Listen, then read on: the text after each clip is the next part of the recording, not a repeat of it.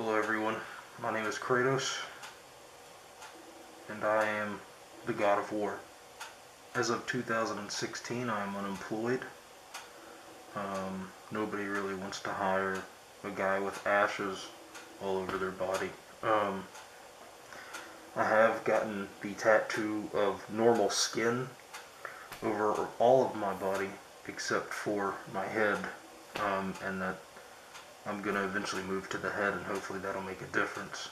I can't go out in public because people recognize me, which has led to depression. I live here uh, in a three bedroom apartment with my two cats.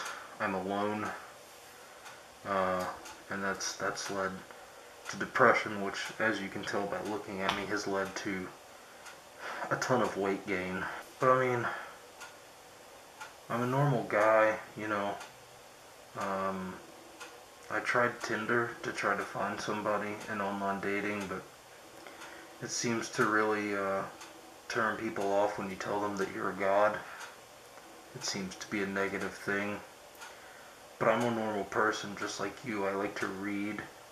I hate, uh, what are they called, talkies or movies.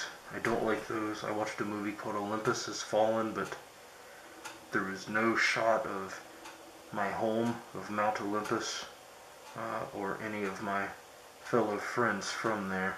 Yeah, and uh, I lost my weapons, but I happen to have this really sweet sword.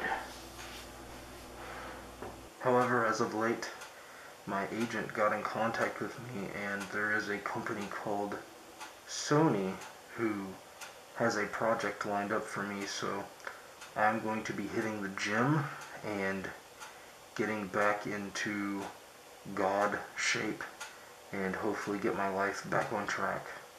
Thank you for watching. This is Where Are They Now?